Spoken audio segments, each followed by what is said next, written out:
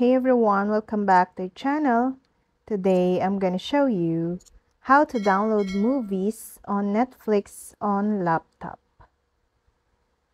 Saving a Netflix movie to a Chromebook laptop works much the same way as downloading Netflix videos to a phone or tablet.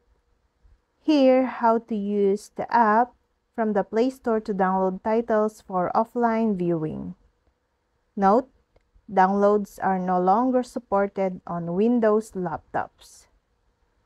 First, install Netflix from the Google Play Store and then open the app and use the sign in button to log into your account.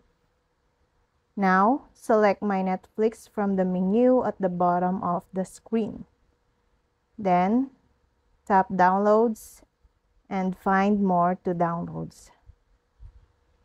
Browse the listings and tap the movie or TV show you'd like to download. Click Download to download a movie to your laptop. Once the download is complete, click the My Netflix icon again and select Downloads. You should see your downloaded movie or TV show listed. Then, click it to begin playback.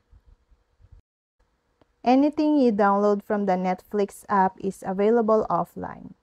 To watch those items with, when you don't have an internet connection, open the My Download tabs.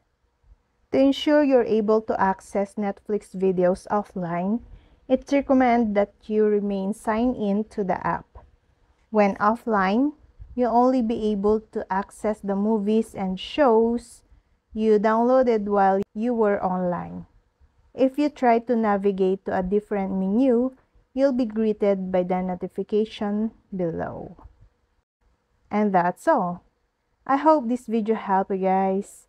For more videos, subscribe to our YouTube channel. Thank you for watching. See you again.